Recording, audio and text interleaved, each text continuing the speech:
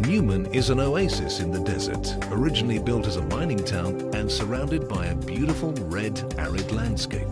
The Pilbara Cities vision will see Newman's population almost double from 8,000 to 15,000 as Newman is transformed into an even more vibrant place to live, work and play.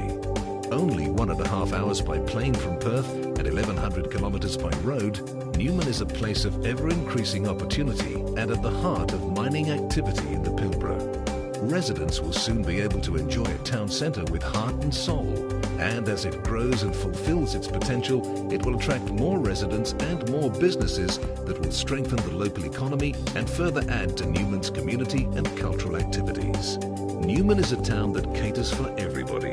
But most importantly, the Pilbara Cities blueprints will see Newman secure its long-term economic future and ensure its residents share in that prosperity.